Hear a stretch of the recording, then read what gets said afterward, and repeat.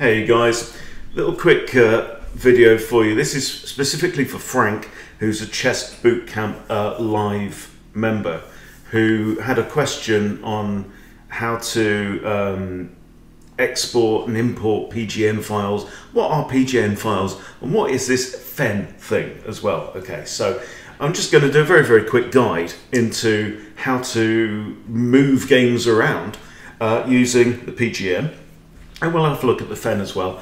Okay, so let's say, for example, that you are you're just exploring, you know, a position. Say, so I'm in the, the masters database here on the chess.com Explorer, for example, and I'm very keen on the the Danish Gambit. So I want to see, for example, how do how have very high rated players played this on on the masters database? Okay, so what do they do from here?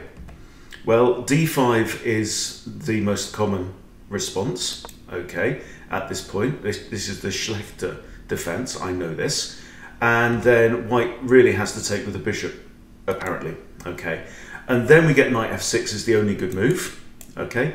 Otherwise you fall into um, bishop takes and then you can capture the queen anyway. So knight f6 um, is played and then the best move here for white is bishop takes f7. So this is like the main refutation of the Danish gambit. So this is something that I need to understand, okay?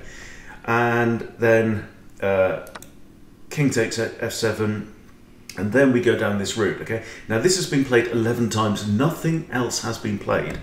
So I know that this is kind of standard, okay? Now this, uh, some people will simply resign in this, um, in, in this position. Um, however, there is this move here, attacking the queen.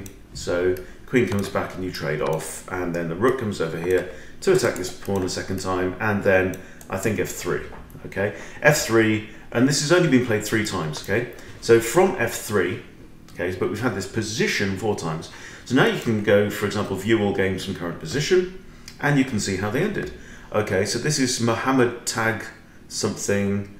Um, so this is 2000 who beat a 2500 from this position, okay? So I can click on that now and it will load it up um, actually as the game. So here is, here is the game. Now, let's say, for example, now I know I can click computer analysis here, for example, um, but let's say I just wanted to analyze it in Lichess for giggles, right? So I click the download link here and there's the PGN, I'll just go copy, right? Um, you can download the PGN file if you like, but I'm just handling the PGN as text.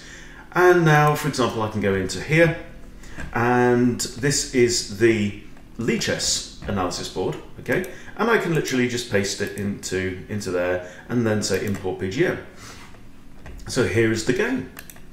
Right? So PGN stands for Portable Game Notation and it's actually it's very readable as well. You can you can see here. So one e4 e5 blah blah blah blah blah, and and that's that's basically it. You know, uh, very straightforward. Now here we've got this fen as well. So fen is is is something else. It's quite interesting. So we'll do we'll play let's play a few moves in this and see what happens. Right. So you can also use the mouse roller as well takes take them bam. Okay so from here so you can you know you can do do your thing now. Now so let's have a quick look at the the fen. So the pgn is the um, is a record of a whole game. So move by move it tells you what happens and it assumes that you start from the regular orthodox starting position right?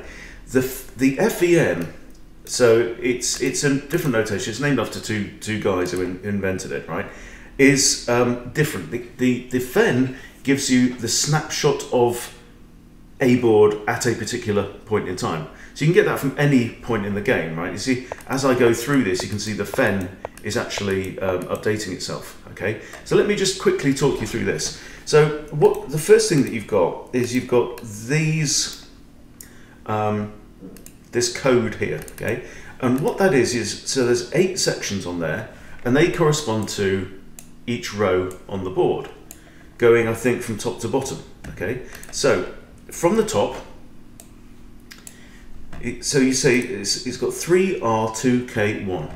Okay, so the 3 means 3 empty squares. R for rook, and it's lowercase, which means it's black's rook. Okay, um, then 2, 2 more. Empty, lowercase k is black king, and 1 is empty. Right? So this is just giving you, then, then here it's got black pawn, black pawn, black pawn, space, rook, space, black pawn, black pawn, okay? And then if they're in uppercase, like so, like for example this one, uh, we've got one uppercase B for white bishop, uh, uppercase white rook, white knight, etc., etc.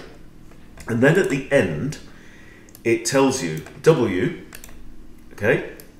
Um, W means it's white, white to move, right, which is important. The next bit is um, to do with castling rights. Okay, so here you can see black's already castled. Okay, so black can't castle at all. Capital K means that white can still castle king side. Right, a capital Q might be can still castle queen side. K, capital K, capital Q means white can still castle either side. Right, black cannot castle, so we have a little dash there.